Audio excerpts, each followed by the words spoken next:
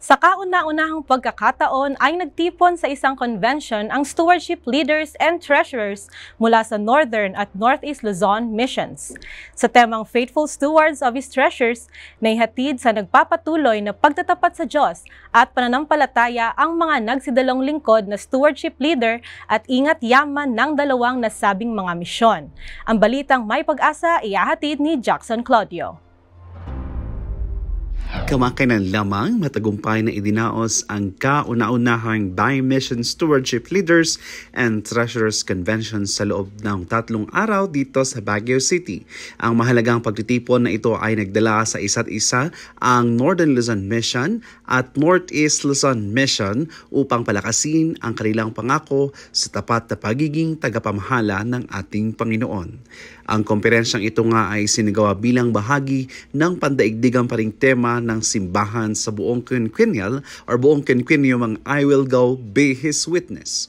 Ang North Philippine Union Conference kasama ang kanilang mga pangulo sa mga naturang departamento ang nanguna sa pagpapatupad ng naturang convention na pinangunahan ni NPUC Stewardship Director Pastor Jerry Estabilio at iba pang mga leaders ng misyon bilang sila rin ang mga naturang naging speakers.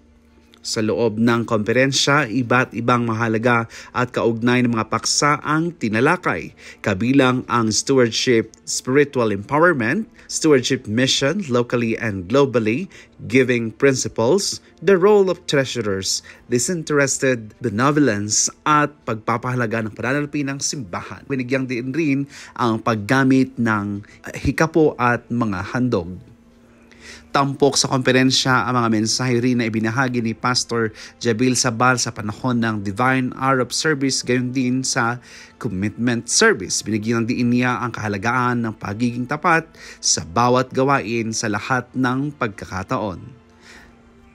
Lubos na pinagpala naman at pinasigla ang lahat ng mga dumalo sa naturang convention at ayon sa kanila ay handa silang umuwi sa kanilang mga teritoryo at misyon upang isagawa at ibahagi rin ang kanilang mga natutunan sa loob nga ng tatlong araw na konferensya.